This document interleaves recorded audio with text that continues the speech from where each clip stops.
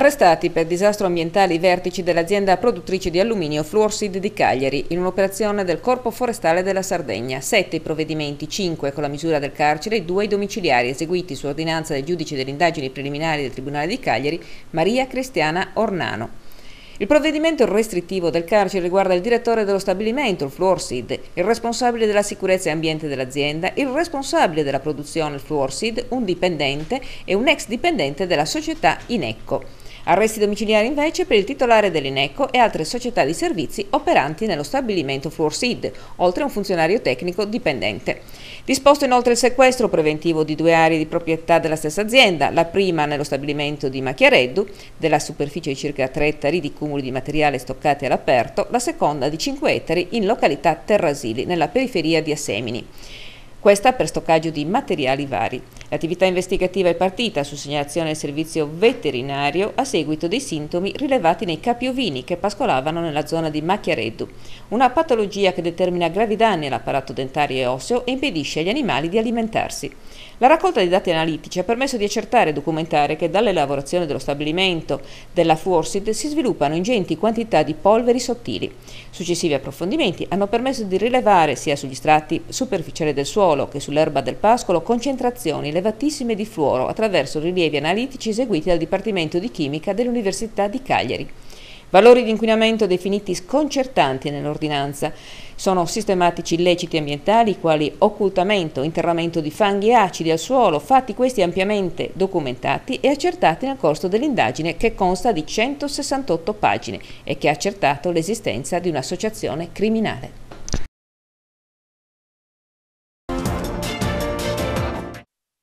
L'Università di Sassari promuove la contaminazione di formazione impresa con il C-Lab, prima edizione di un nuovo esperimento dell'Ufficio di Trasferimento Tecnologico dell'Ateneo, che ha come obiettivo quello di formare gruppi di studenti di tutti i corsi di laurea e di dottorato, con la partecipazione di soggetti esterni per un percorso di creazione d'impresa. Gli studenti, i neolaureati e i dottori di ricerca potranno acquisire capacità progettuali, organizzative, imprenditoriali e comunicative, ma soprattutto portare avanti un vero progetto d'impresa che potrà arrivare a concretizzarsi dopo durante il Contamination Lab. Il progetto è stato presentato presso il Centro di Trasferimento Tecnologico dell'Università dal responsabile Francesco Meloni, dal delegato Gabriele Mulas, dal prorettore vicario Luca Deida e dal dirigente Attilio Segui.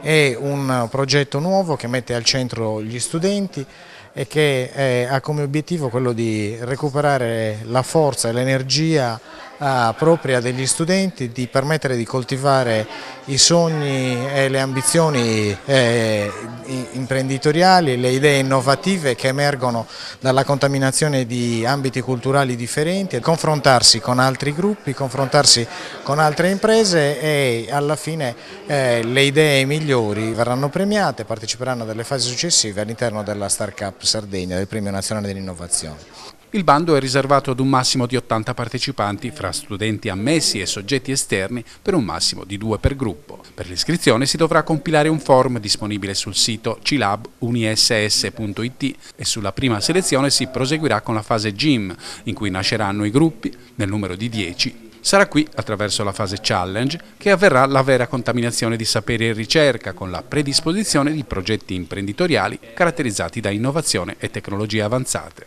Alla fine, un panel di potenziali finanziatori sceglierà i 5 migliori progetti nati dal team. Le domande vanno formulate entro il 31 maggio. Sassari si prepara a riempirsi di colori, suoni, profumi e sapori di sardità. Domenica 21 maggio la cavalcata sarda invaderà le strade della città per la 68esima edizione. Questa mattina il sindaco Nicola Sanne e l'assessore alla cultura Raffaella Sau hanno presentato in conferenza stampa la manifestazione che ormai ha pieno titolo fra le più importanti mete nazionali delle feste identitarie. Un'edizione che si apre con una novità. La sfilata sarà inaugurata da 10 amazzoni in rappresentanza di altrettanti comuni dell'isola per dare un segno femminile a significare il ruolo che la donna ha nella società, ha spiegato la titolare della cultura cultura. 3.000 figuranti, 75 gruppi folk, 24 dalla provincia di Sassari, 14 da quella di Oristano, 21 della provincia di Nuoro e 16 dalla provincia di Cagliari, 23 gruppi a cavallo e 276 cavalieri, 18 le coppie a cavallo, 7 gruppi delle pariglie e due bande musicali. Questi numeri della Festa della Bellezza che il sindaco ha sottolineato essere la porta della stagione turistica non solo per Sassari ma per tutta l'isola. Dal momento in cui fu pensata già dall'allora azienda di soggiorno e turismo di Sassari come un'anticipazione dell'estate, un momento che richiama tanti turisti, che richiama anche l'organizzazione turistica isolana per quei momenti cosiddetti di spalla che sono quelli prima dell'estate, dell'avvio dell'estate.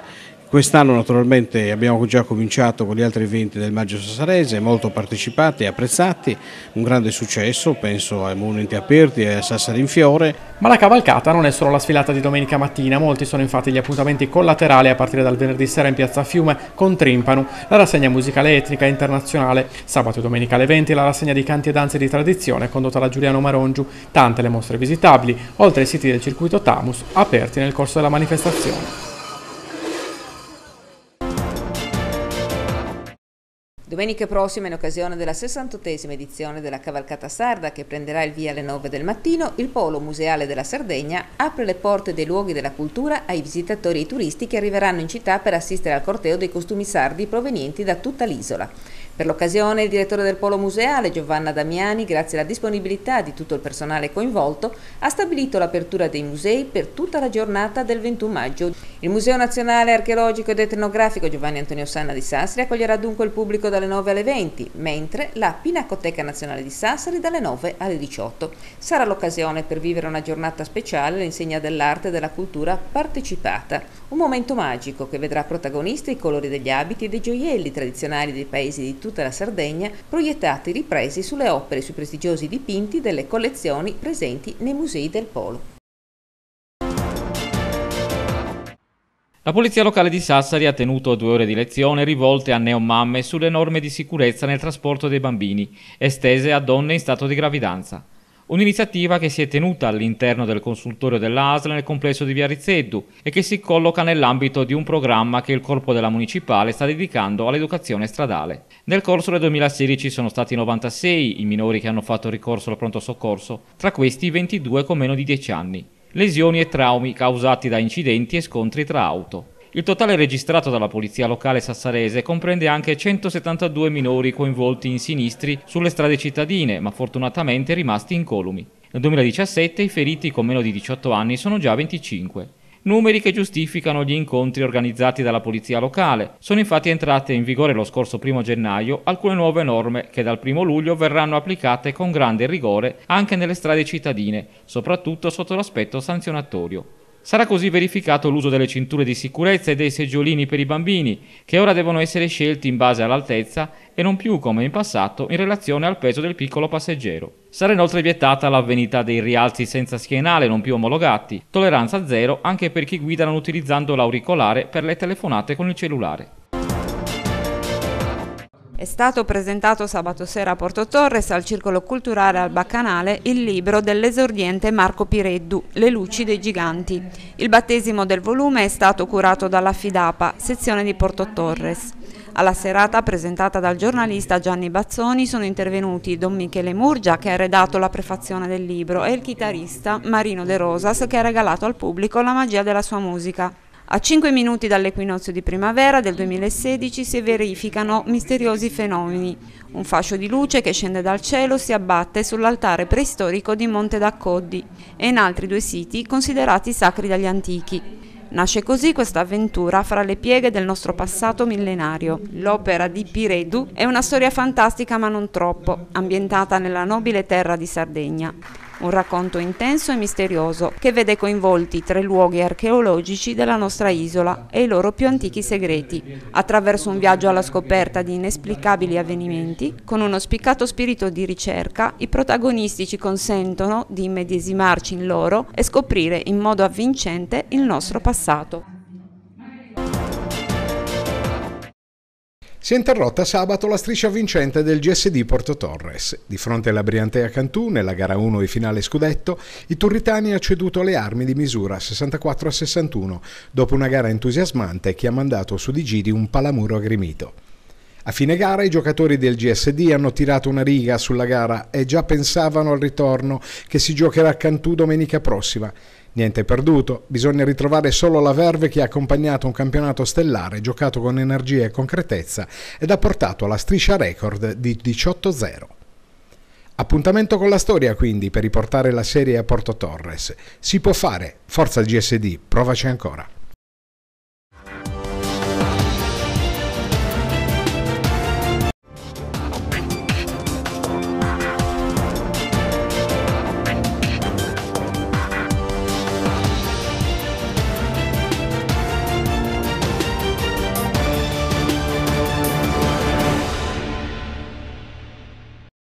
Arrestati per disastro ambientale i vertici dell'azienda produttrice di alluminio Fluorsid di Cagliari in un'operazione del Corpo Forestale della Sardegna. Sette i provvedimenti, cinque con la misura del carcere e due i domiciliari eseguiti su ordinanza del giudice delle indagini preliminari del Tribunale di Cagliari, Maria Cristiana Ornano.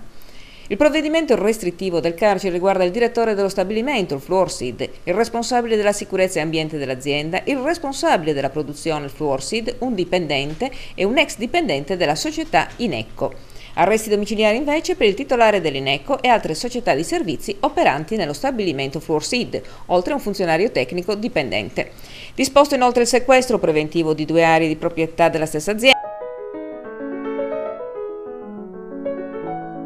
San Giovanni Nepomuceno Nato intorno al 1350 a Nepomuk in Boemia, studiò a Praga e poi a Padova dove divenne dottore in diritto canonico. Nel 1380 divenne sacerdote e in seguito nel 1389 fu nominato vicario generale dell'arcidiocesi di Praga. Da vicario generale si scontrò duramente con re Venceslao IV, al quale contestava le intrusioni continue negli affari della Chiesa. Il 20 marzo 1393, per ordine di re Venceslao IV, fu arrestato, torturato con torce di pece ardente e gettato nella Moldava. Protettore dei sacerdoti, dei confessori e dei calunniati, è patrono dei ponti, dei naviganti, degli zatterieri e dei mugnai.